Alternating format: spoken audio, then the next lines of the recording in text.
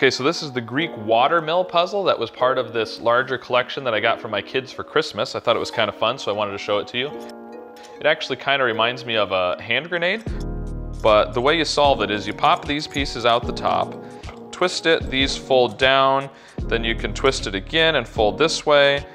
180 degrees, this pops out, and then the other piece can go through the same path. There we go. And now it's all taken apart and you just reverse the process to put it back together.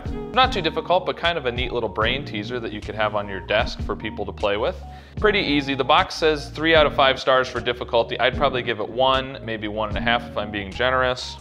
If you'd like to see more of these, be sure to subscribe for more puzzles.